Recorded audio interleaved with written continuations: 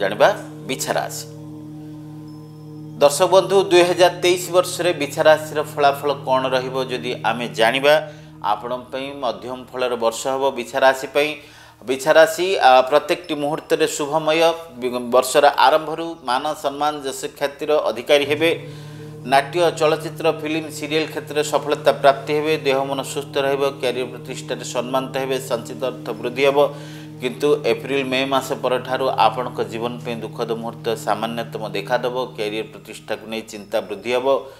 ଗୁପ୍ତ ଶତ୍ରୁ ଆପଣଙ୍କ କର୍ମକ୍ଷେତ୍ରରେ କିଛି ଯେଉଁଟାକି ଆନ୍ଦୋଳନ ସୃଷ୍ଟି କରିପାରନ୍ତି ଏବଂ ଆର୍ଥିକ ରୋଜଗାର ମାନ୍ଦାବସ୍ଥା ଲାଗି ରହିବ ଏବଂ ବ୍ୟବସାୟ ବାଣିଜ୍ୟରେ ଲସ୍ ମଧ୍ୟ ଦେଖାଦେବ ଏବଂ ପାରିବାରିକ ଦୁଃଖ ବଢ଼ିବ ପିତୃମାତୃଙ୍କର ଚିନ୍ତା ବ୍ୟଥିତ କରାଇବ ପିଲାମାନଙ୍କ ପାଇଁ ଚିନ୍ତା ବ୍ୟଥିତ କରାଇବ।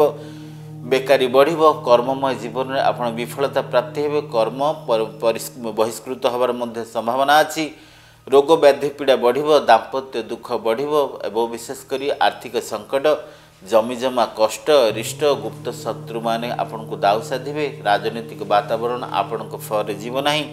କେହି କେହି ଅଜଣାଶୁଣା ଲୋକ ଦାଉ ସାଧିବେ ଏବଂ ଦଳଗତ ବିଶେଷରେ ଆପଣ ନିନ୍ଦିତ ହେବେ ଅପମାନିତ ହେବେ। ଏବଂ ଦୁଃସାହସିକତାର କର୍ମ କରିବା ପାଇଁ ଇଚ୍ଛା ଥିଲେ ମଧ୍ୟ ସୁଯୋଗ ପ୍ରାପ୍ତି ହୋଇପାରିବ ନାହିଁ। ପ୍ରତ୍ୟେକଟି ଜାଗା ଜମି କାରବାରକୁ ନେଇ ଆପଣ ବିଫଳ ନୈରାଶ୍ୟ ମଣ୍ଡିତ ହେବେ।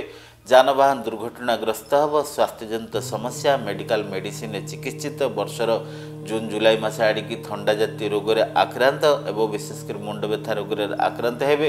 ବର୍ଷର ଶେଷ ଭାଗ ଆଡ଼ିକି ସର୍ବ ଆଶାକୁ ପୂର୍ଣ୍ଣ କରିବା ପାଇଁ ଦାୟିତ୍ୱକୁ ଆଉ କାହା ମସ୍ତକରେ ଦେବା ପାଇଁ ରାଜି ହେବେ। ପ୍ରତ୍ୟେକଟି ଯେଉଁଟା ମୂଲ୍ୟବାନ ଡକୁମେଣ୍ଟ ଚୁକ୍ତିନାମା ସ୍ୱାକ୍ଷର ଘଟିବ ଏବଂ ଅ, ବ- ବୈଜ୍ଞାନିକ ବୈଷୟିକ ବିଦ୍ୟା ଗାନ୍ଧାର ବିଦ୍ୟା ଚାରୁକଳା ଭାସ୍କର ଆଦି ପ୍ରତ୍ୟେକଟି ଆ, ବିଦ୍ୟାରେ ଆପଣ ମଧ୍ୟମ ଫଳ ପ୍ରାପ୍ତି ହେବେ। ଯେଉଁମାନେ hotel restaurant medical medicine dental research ଏସବୁ ଲାଇନରେ କିମ୍ବା ଓକିଲାତି ଲାଇନରେ ସାମିଲ ଅଛନ୍ତି। ଏମାନଙ୍କ ପାଇଁ ମଧ୍ୟ ମଙ୍ଗଳମୟର ବର୍ଷ ହେବ। ତଥାପି ପ୍ରାୟତଃ ଦେଖିବାକୁ ଗଲେ ବିଛାରାଶି ପାଇଁ ଦୁଇହଜାର ତେଇଶ ବର୍ଷ ଆପଣଙ୍କ ପାଇଁ ମଧ୍ୟମ ଫଳର ବର୍ଷ ରହିବ।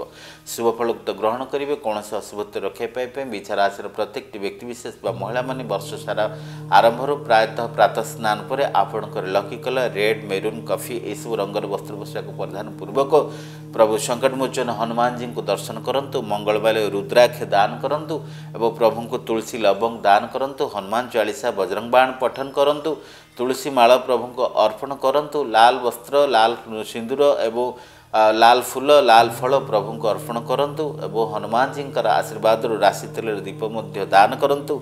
ଶନିବାର ମଙ୍ଗଳବାର ପିଓର ଭେଜିଟେରିଆନ୍ ହୁଅନ୍ତୁ ଏବଂ ଆପଣ ଶୁଦ୍ଧ ଶାକାହାରୀରେ ରହିଲେ ମାନସିକ ସନ୍ତୁଳିତ ଅବସ୍ଥାକୁ ଆପଣ ଫେରି ଆସିବେ ପ୍ରତ୍ୟେକଟି ମୁହୂର୍ତ୍ତ ଆନନ୍ଦମୟ ହେବ ବର୍ଷର ପ୍ରତ୍ୟେକଟି ଦିନ ରକ୍ଷାପ୍ରାପ୍ତି ହେବେ ଏବଂ ଦୁଇହଜାର ତେଇଶ ବର୍ଷ ଜଗନ୍ନାଥଙ୍କର ଅପାର କରୁଣାରୁ ସଙ୍କଟମୋଚନଙ୍କର ଅପାର କରୁଣାରୁ ଆପଣଙ୍କ ପାଇଁ ମଙ୍ଗଳମୟ ବର୍ଷ ହେବ। ଦିନଗୁଡ଼ା ବହୁତ ଭଲରେ ଭଲରେ ମଧ୍ୟ କଟିଯିବ।